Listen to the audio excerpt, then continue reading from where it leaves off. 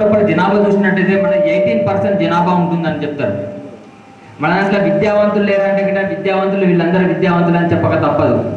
ఈరోజు ప్రతి రంగంలో కూడా చూసినట్టయితే ఇంజనీర్స్ కానీ డాక్టర్స్ కానీ నాలాంటి అడ్వకేట్స్ కానీ జగి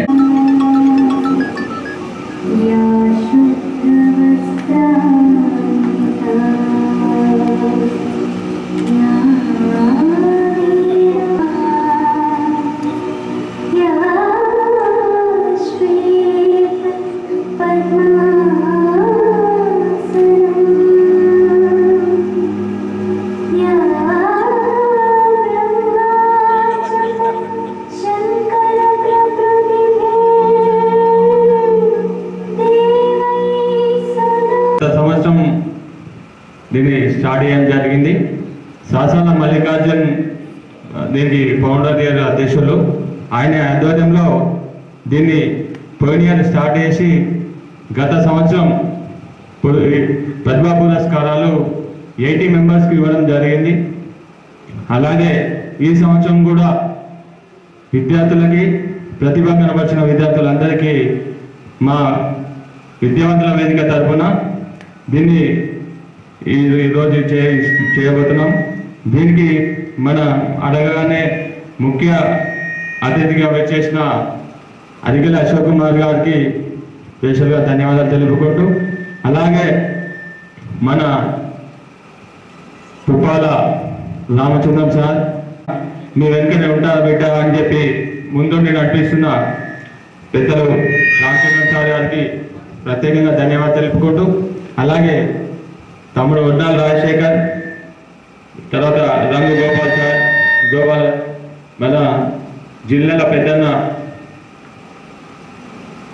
మా జిల్లా అధ్యక్షుడు శ్రీనివాస్ గంగన్నకి మన కిలగడ గంగన్నకి రాజేష్కి తర్వాత అంజన్నకి అందరికీ స్పెషల్గా మనం ధన్యవాదాలు తెలుపుకుంటూ సంవత్సరం నుంచి మన విద్యార్థులకి మనం కూడా ఎందుకు ఇవ్వకూడదనే ఉద్దేశంతో ఒక సంస్థ స్టార్ట్ చేసి ఈ సంస్థ ద్వారా మన మంచి మెరిట్ సాధించిన విద్యార్థులకి పురస్కార ప్రతిభా పురస్కారాలు అందిస్తే వాళ్ళకు మనం కొంచెం ముందుకు చేతి నుంచి ముందుకు నడిపిస్తే వాళ్ళకి ధైర్యంగా ముందుకెళ్ళి ఉన్నత శిఖరాలకు అందుకోవాలని ఆశిస్తూ వచ్చినటువంటి మాకు ఇన్స్పిరేషన్ ఏంటిదంటే లాస్ట్ ఇయర్ విద్యార్థుల నుండి పోషకుల నుండి పోషకుల నుండి వచ్చినటువంటి ప్రతిస్పందననే మాకు ఇన్స్పిరేషన్.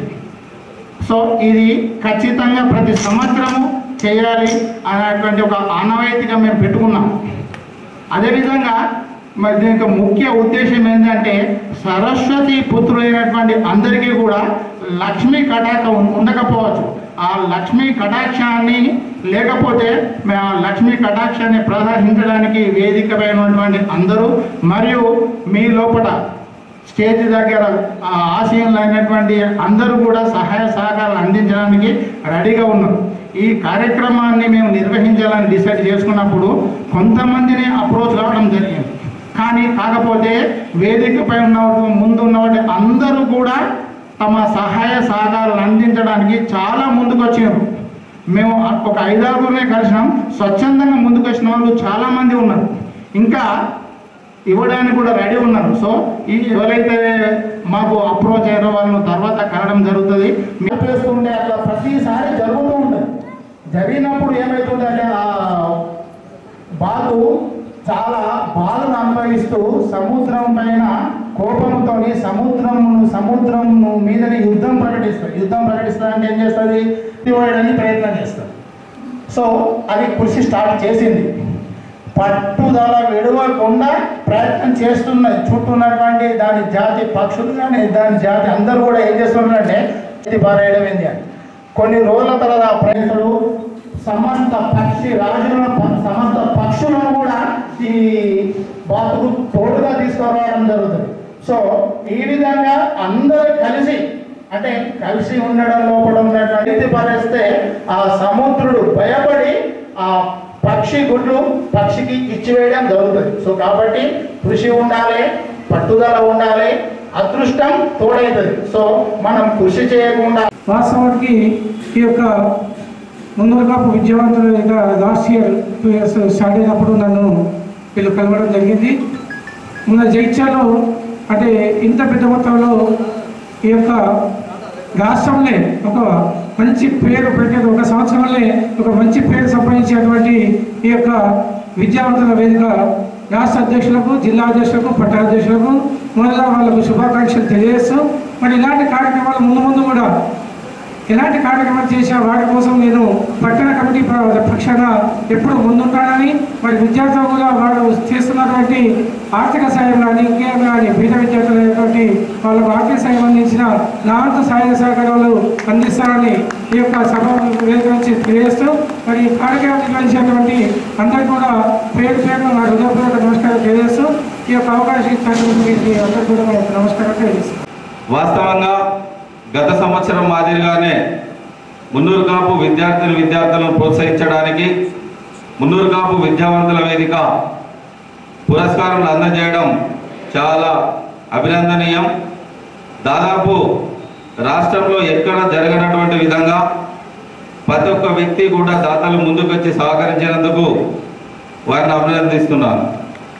అదేవిధంగా ఈరోజు ఒక రైతు కుటుంబం నుండి వచ్చినటువంటి విద్యార్థి తప్పకుండా ఒక ఇంజనీర్ కావాలి. ఒక రైతు కుటుంబం నుండి వచ్చినటువంటి వ్యక్తి విద్యార్థి కంపల్సరీ ఒక డాక్టర్ కావాలి. మనం నేడు చూస్తున్నాం విద్యావంతులు ఉన్నటువంటి కుటుంబం నుండే విద్యావంతులు వస్తున్నారు. రాజకీయ నాయకులు ఉన్నటువంటి కుటుంబం నుండే రాజకీయ నాయకులు పుట్టుకొస్తున్నారు. మరి మన తాతలు కష్టపడ్డారు రైతులాగే మన నాన్నలు కష్టపడ్డారు మనం కూడా కష్టపడదామా?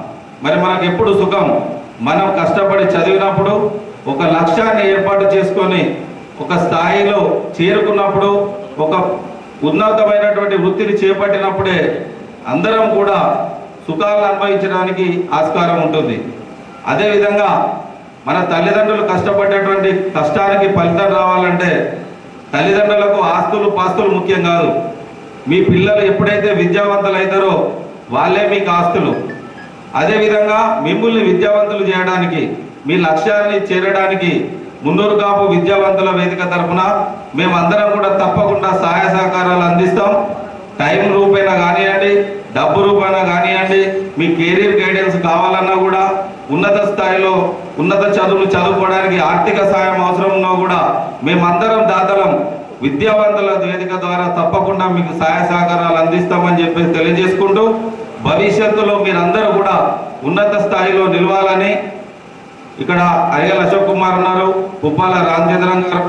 ఉన్నారు వివిధ వృత్తుల్లో నిలిచిపోయినటువంటి లక్ష్యాన్ని చేరుకున్నటువంటి వారు ఉన్నారు. వారందరినీ ఆదర్శంగా తీసుకోండి. సోదరుడు సాసాల మల్లికార్జున గారు ఉన్నారు. తప్పకుండా మీ తల్లిదండ్రులకు ఏం తెలియదు. చాలా మంది మున్నూరు కాపుల్లో రైతు కుటుంబాలకు చెందిన వాళ్ళు నిరక్షరాస్యులు ఎక్కువ ఉంటారు. ఆ అబ్బాయిని డబ్బులు పెట్టి చదివించడం తెలుసు తప్ప టెన్త్ తర్వాత ఆయన ఏం చేయించాలి? ఇంటర్మీడియట్ తర్వాత ఏం చేయించాలి? డిగ్రీ తర్వాత ఏం చేయించాలి? మరి ఏ కోర్సు తీసుకుంటే తొందరగా అబ్బాయి సెటిల్ అవుతాడు? అంటే పక్క మనకు దానికి సలహా సహాయాలు తీసుకోవడానికి మన విద్యావంతుల వేదిక ఉన్నది. మన విద్యావంతుల వేదిక ద్వారా సలహాలు సూచనలు తీసుకొని మన పిల్లల్ని ఒక ఉన్నత స్థాయిలో ఉంచడానికి ప్రయత్నం చేద్దాం. విద్యావంతుల వేదిక మున్నూరు కాపు సంఘం మీ వెన్నంటి ఉంటుందని చెప్పేసి కోరుకుంటూ ఈ అవకాశం ఇచ్చినటువంటి విద్యావంతుల వేదిక నిర్వాహకులకు పేరు పేరున నా ధన్యవాదాలు. జై మున్నూరు కాపు. చదువు లేదు డబ్బు కష్టం. ఇప్పుడు అదే పద్మనాయకులు చేసినట్టు వాళ్ళు కొన్ని వెయ్యి రూపాయలు ఆర్థికంగా సహాయం చేసారు తర్వాత పుస్తకాల రూపంగా ఏదో రూపంగా వాళ్ళు సహాయం చేస్తారు అంటే మన దగ్గర కామధేను అంటే పక్షాలు ఉన్నది దాని ప్రకారంగా మన సంఘంలో విపరీతమైన డబ్బు ఉన్నది కనుక వాళ్ళు చాలా ఎక్కువగా చేసింది. ఐదో తిరిగి అడగడం చేయడం ఉండకుండా ఒక శాశ్వత నిధిని ఏర్పాటు చేసి ఇటువంటి కార్యక్రమాలు చేపట్టడం అవుతుందో చాలా సంతోషం. ఎందుకంటే విద్యార్థుల భవిష్యత్తు కానీ తర్వాత ఇంకొకటి. మన మున్నూరు కాపు విద్యావంతుల వేదిక అనేది మేము ఏర్పాటు చేయడం జరిగింది. అయితే మన గత చరిత్ర వైభవాన్ని ఘనంగా చెబుతూనే మరి ప్రస్తుత రాజకీయ పరిస్థితులలో సమకాలీన పరిస్థితులలో రాజకీయ పరంగా కావచ్చు సామాజిక పరంగా కావచ్చు మనం ఏ స్థాయిలో ఉన్నాం అని ఇప్పటి చరిత్ర విశ్లేషించే పరంగా మేము ఈ విద్యావంతుల వేదికను స్థాపించడం జరిగింది. గత సంవత్సరము మార్చి ముప్పైవ తేదీన మేము స్థాపించడం జరిగింది విద్యావంతుల వేదికను. అయితే ఇందులో ప్రధాన లక్ష్యాలలో ఒకటైన విద్యార్థిని విద్యార్థులు కూడా మనం చేదోడు ఉండాలి. అంటే వాళ్ళని ఎంకరేజ్ చేయాలి. ఇప్పటి నుండే విద్యార్థి దశ నుండే విద్యార్థులను కులం దగ్గర తీసి ప్రోత్సహించింది అనుకోండి వాళ్ళు ఏ స్థాయికి వెళ్ళినా కూడా కులం పట్ల ఒక అంకిత భావంతో ఉంటారు. అంటే కులం అంటే ఆహా నాకు విద్యార్థి ఉన్నప్పుడు ఎంకరేజ్ చేసిందని ఆ అంకిత భావంతో ఉంటాడు కాబట్టి ఈ స్థాయి నుండి మనం విద్యార్థులను ప్రోత్సహించాలని చెప్పేసి కొన్ని లక్ష్యాలు కూడా పెట్టుకోవడం జరిగింది. అందులో మొదటి లక్ష్యమైన ప్రతిభా పురస్కారాలు ఈ అవార్డు అనేది దిగ్విజయంగా రెండో సంవత్సరం నిర్వహిస్తున్నటువంటి పట్టణ అధ్యక్షుడు చిట్ల సుధీర్ గారికి అతను సహకరించిన పట్టణ కమిటీ సభ్యులకు మరొకసారి నా యొక్క హృదయపూర్వక కృతజ్ఞతలు కానీ ప్రతిభ ఒకటి సొత్తు కాదు అందరి సొత్తు. ఎంత చదివితే అంత జ్ఞానం వస్తుంది. ఆ జ్ఞానం ద్వారా ఉన్నత విద్యలు ఉన్నత పొజిషన్లో ఉండవచ్చు. ఈ మధ్యనే మీరు చూశారు దేశంలోనే ప్రథమంగా ఒక ఐఏఎస్ మన జగిత్యాల వాడ నుండి సారీ జగిత్యాల జిల్లా మెట్పల్లి నుండి అండూప్గా సెలెక్ట్ కాబడ్డారు. అంటే చదువుకున్న విలువ ఎంత అన్నది మీరు ఒకసారి ఆలోచించండి. చదువును మించింది ఏదీ లేదు. ఎంత వాడినైనా మనం ఆస్తులను కొనొచ్చు కానీ జ్ఞానాన్ని మాత్రం కొనలేదు. జ్ఞానం ఎంత ఉంటే జ్ఞానం అంత హోదాలు అంత పలుకుబడి అంత హోదాలతో యుక్తంగా వచ్చే సౌకర్యాలు కూడా వస్తాయి. కాబట్టి విద్యార్థులారా కష్టపడి చదవమని నాన్న ఇష్టపడి చదవండి. ఆ ఇష్టంతో మీరు కోరుకున్న అంశాన్ని మీరు వెళ్ళండి. అది తల్లిదండ్రులకు గురువులకు అందరికీ కూడా మంచి పేరు ప్రతిష్టలు తీసుకురావాలి.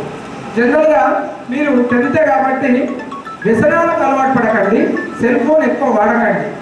ముఖ్యంగా ఈ ప్రోగ్రామ్ నన్ను చూడడం నాకు చాలా సంతోషంగా ఉంది. ఈ అవార్డు నేను తీసుకున్నా నైన్టీన్ ఎయిటీలో ఇప్పుడు కూడా మళ్ళీ నా చేతిలో మీద ఇస్తున్నా అంటే నేను ఎంతో గర్వకారణంగా చెప్పగలను ఈ ఈ అవకాశం అంటే ఇక్కడనే ఉన్నారు మా అరిగిల మహిపాల్ అని కోశాధికారి గారు వారు కూడా కష్టపడి పైకి వచ్చారు. అందరూ కూడా పేరు పేరున అందరికీ ధన్యవాదాలు చెబుతూ ఈ అవకాశం ఇచ్చినందుకు